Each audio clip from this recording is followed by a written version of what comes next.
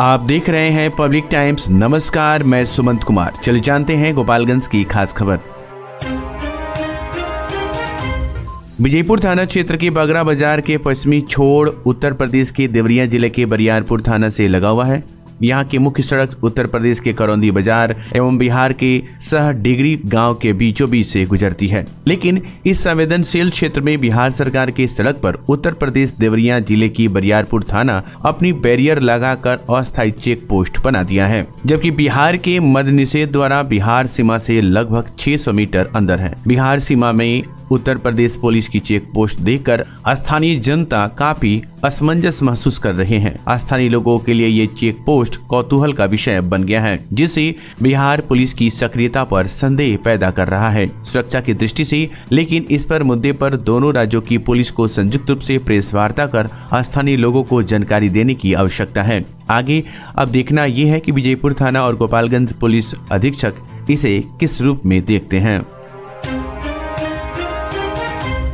गोपालपुर थाना क्षेत्र के छत्रपति गाँव के दुर्गा मंदिर में कुछ असामाजिक तत्वों द्वारा सांप्रदायिक सौहार्द बिगाड़ने का प्रयास किया गया। असामाजिक तत्वों ने गाँव के दुर्गा मंदिर की गर्भगृह में पुवाल रखकर आग लगा दिया। हालाँकि ग्रामीणों, स्थानीय प्रतिनिधियों और प्रशासन की सूझबूझ से असामाजिक तत्व अपने मंसूबों में कामयाब नहीं हो पाए। जानकारी लगने के बाद मौके पर पहुँची प्रशासन ने ग्रामीणों के साथ मंदिर के साफ़ सफ़ाई के बाद रंग रोगन कराया और मंदिर में पुनः पूजा पाठ के साथ मंदिर का शुद्धिकरण कराया गया। मिली जानकारी के अनुसार शुक्रवार की सुबह मंदिर में पहुँचा एक युवक ने इसकी सूचना ग्रामीणों को दी कि मंदिर की गर्भगृह में कोई पुवाल रखकर आग लगाई है, जिससे पूरा गर्भगृह धुआँ और कालिक से भर गया है। जानकारी लगने के बाद बड़ी संख्या में ग्रामीण मौके पर पहुँचे और पुलिस को इस घटना की जानकारी दी। स्थिति की गंभीरता को देखते हुए स्थानीय गोपालपुर पुलिस के अलावा सदर एसडीपीओ प्रंजल सदर इंस्पेक्टर हीरालाल प्रसाद भी मौके पर पहुँचे। गोपालपुर पुलिस के अलावा एहतियात के तौर पर कुचायकोट पुलिस की टीम को भी बुला लिया गया। पुलिस प्रशासन तथा स्थानीय प्रतिनिधियों के सहयोग से मंदिर के साफ़ सफ़ाई तथा मंदिर की पेंटिंग का कार्य कराया गया, जिसके बाद लोगों ने माँ दुर्गा का दर्शन शुरू किया। मौके पर पहुँची सदर एस ने ग्रामीणों को आश्वस्त किया कि मामले की छानबीन की जा रही है और जल्द ही इस मामले के आरोपितों को गिरफ़्तार कर लिया जाएगा। देर शाम तक पुलिस पदाधिकारी पुलिस बल के साथ मौके पर मौजूद रहे। दिनांक 25 जनवरी से 25 फरवरी तक कारा के pan India campaign for identifying juveniles in prison and rendering legal assistant 2024 पर आयोजित होने वाले कैंपियन कार्यक्रम के अंतर्गत जिला एवं सत्र न्यायाधीश राकेश मालवीय के निर्देश पर सचिव जिला विधिक सेवा प्राधिकार प्रमोद कुमार महता की देखरेख में कैंपियन कार्यक्रम के शेड्यूल के अनुसार 28 जनवरी को मंडल कारा चनावे में कैदियों के बीच किशोर न्याय अधिनियम के नियमों पर पैनल अधिवक्ता संजय कुमार द्विवेदी द्वारा विधिक जागरूकता कार्यक्रम का आयोजन किया गया, जिसमें पैनल अधिवक्ता द्वारा किशोर न्याय अधिनियमों के प्रावधानों के बारे में विस्तार पूर्वक कैदियों को जागरूक किया गया।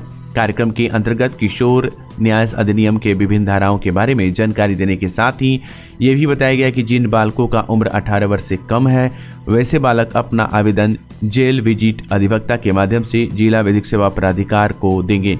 वैसे बालकों के आवेदन पर लीगल एंड डिफेंस काउंसिल का अधिवक्ता किशोर न्याय अधिनियम के प्रावधानों के अंतर्गत आवश्यक अनुपालन करना सुनिश्चित करेंगे। उन्होंने ये भी बताया कि विधि विरुद्ध बालकों का किसी भी परिस्थिति में कारा में रिमांड न हो, ऐसी स्थिति में रिमांड के समय बालक अपना सही उम्र का ज़िक्र करें, ताकि उन्हें अगर सुरक्षित अभिरक्षा में रखने की आवश्यकता हो तो उसे कारा न भेजकर सुधार गृह प्लेस ऑफ़ सेफ्टी भेजा जाए।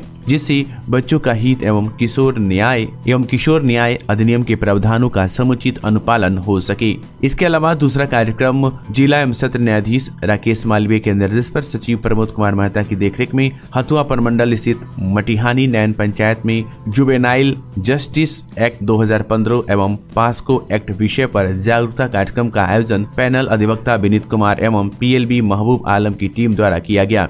कार्यक्रम में उपस्थित आम जनता को किशोर न्याय अधिनियम के प्रावधानों के अंतर्गत 18 वर्ष से कम उम्र के बच्चों के अपराध एवं इनके वादों की सुनवाई हेतु किशोर न्याय परिषद तथा इनके सुरक्षित अभिरक्षा में रखने की आवश्यकता की स्थिति में रिमांड होम या पैलेस ऑफ़ सेफ्टी में भेजे जाने आदि के बारे में तथा छोटे बच्चों में होने वाले यौन अपराध एवं इनके लिए अलग से पोस्टको न्यायालय की व्यवस्था कंपनसेशन हेतु जिला विधिक सेवा प्राधिकार में व्यवस्था आदि के बारे में जानकारी दी गई। इसके अलावा मुफ़्त विधिक सेवा सहायता प्राप्त करने के तरीके एवं आगामी 9 मार्च को व्यवहार न्यायालय परिसर गोपालगंज में आयोजित होने वाले राष्ट्रीय लोक अदालत में विभिन्न प्रकृति के सोलनीय वादों तथा बैंक ऋण वाद ग्राम कचहरी में लंबित वादों, पारिवारिक वादों, सुलहनीय, आपराधिक वादों, श्रम वादों, मापतौल वादों आदि को सुलह समझौता के आधार पर निष्पादन कराने वास्ते पूर्व से वादों को चिन्हित करने हेतु संबंधित न्यायालय या विभाग में संपर्क स्थापित करने अथवा कार्यालय लोक अदालत में संपर्क करने हेतु भी जागरूक किया गया।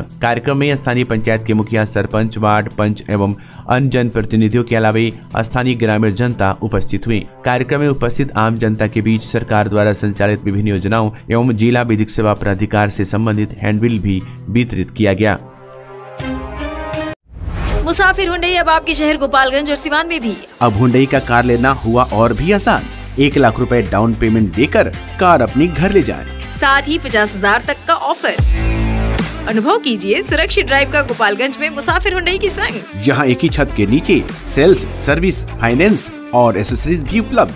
तो देर क्यों? आज ही आए और अपनी मनचाही कार ले जाए। मुसाफिर हुंडई से।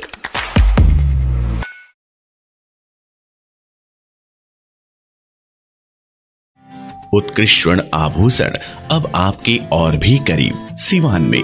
Real brands of Bihar Tanishq Riva wedding jewellery पाए 100 परसेंट एक्सचेंज अपने पुराने सोने के गहनों पर चाहे वो किसी भी ज्वेलर से खरीदे गए हों। 20 प्रतिशत तक की छूट गोल्ड ज्वेलरी के बुनवाई शुल्क और डायमंड मूल्य पर। Exclusive showroom Tanishq Riva near Babuniya मोड़ सिवान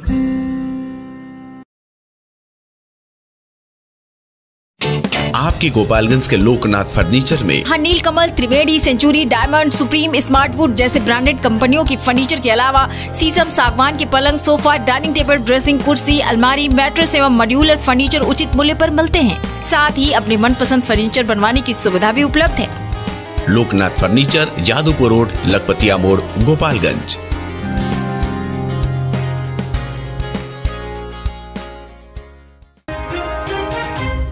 बिहार में महागठबंधन सरकार की सरकार गिर चुकी है। नीतीश कुमार ने अपने पद से इस्तीफा दे दिया है। इसके बाद उन्होंने नई सरकार बनाने का दावा पेश कर दिया है। नीतीश कुमार के इस फैसले पर नीतीश कुमार और बिहार के राजनीतिक दलों पर जन सुराज के सूत्रधार प्रशांत किशोर ने बड़ा बयान दिया। बेगूसराय की जीडी कॉलेज में रविवार को प्रेस वार्ता को संबोधित करते हुए प्रशांत किशोर ने कहा कि, अगर आप मेरे पिछले एक साल के वक्तव्यों को देखेंगे तो शायद एकमात्र व्यक्ति मैं रहा हूँ, जो ये कह रहा था कि नीतीश कुमार कभी भी पलटी मार सकते हैं।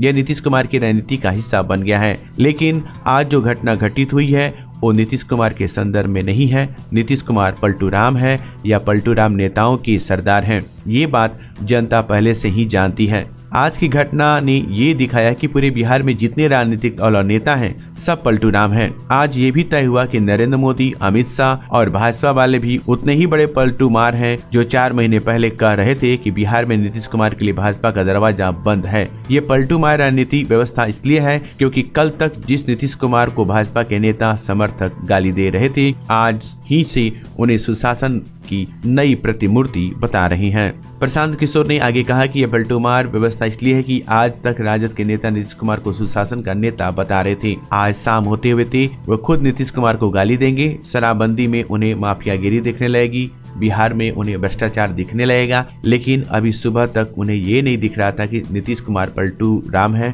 ये दुनिया जानती है, ये डिस्कवरी का मुद्दा नहीं है। ये घटना ने ये दिखाया कि नीतीश कुमार ने अपने ही रंग में पूरी राजनीतिक व्यवस्था को रंग दिया है, जिसमें भाजपा और राजद उतने ही बड़े पलटू राम है जितने नीतीश कुमार। मेरे भाई, अगर आप पिछले पिछले एक साल के मेरे वक्तव्यों को देखेंगे तो शायद एकमात्र व्यक्ति मैं रहा हूँ जो कैमरे पर कहता रहा है कि नीतीश कुमार बस पलट, कभी भी पलट सकते हैं। आप मेरे कितने भी वक्तव्य उठाकर देख लीजिए, हर जगह हमने कहा है, ये नीतीश कुमार की राजनीति का हिस्सा बन गया है। लेकिन आज जो घटना हुई है, ये नीतीश कुमार के संदर्भ में नहीं है। नीतीश कुमार पलटू राम है या पलटू राम नेताओं के सरदार हैं, ये तो बात पहले से जनता जानती है। आज की घटना ने, अभी जो हुआ है, इसने ये दिखाया कि पूरे बिहार में जितने राजनीतिक दल और नेता हैं, सब पलटू मार है। आज ये भी तय हुआ कि नरेंद्र मोदी, अमित शाह और भाजपा वाले भी उतने ही बड़े पलटू मार है, जो अभी दो महीना, चार महीना पहले कह रहे थे कि नीतीश कुमार के लिए बिहार में भाजपा का दरवाज़ा बंद है। ये पलटू मार पूरी राजनीतिक व्यवस्था है, इसलिए कि कल तक जो नीतीश कुमार को गाली दे रहे थे भाजपा के वर्कर समर्थक, कार्यकर्ता, आज ही से इनको सुशासन का नया प्रतिमूर्ति बताने लगेंगे। ये पलटू मार व्यवस्था इसलिए है कि आज तक राजद जो उनको सुशासन और भविष्य का नेता बता रही थी, अभी आज शाम होते होते वो फिर नीतीश कुमार को गाली देंगे, उनको शराबबंदी में माफियागिरी दिखने लगेगी, भ्रष्टाचार उनको बिहार में दिखने लगेगा, अभी सुबह तक नहीं दिख रहा था। तो नीतीश कुमार पलटू मार हैं, ये तो पूरा दुनिया जानता है, अब ये बहस का, ये कोई डिस्कवरी का मुद्दा नहीं है। इस घटना ने ये दिखाया कि नीतीश कुमार ने अपने ही रंग में यहाँ के पूरी राजनीतिक व्यवस्था को रंग दिया है, जिसने, जिसमें भाजपा और राजद दोनों ही उतने ही बड़े पलटुमार हैं, जितने बड़े नीतीश तो ये थी गोपालगंज की खास खबर, आपका दिन शुभ हो, धन्यवाद।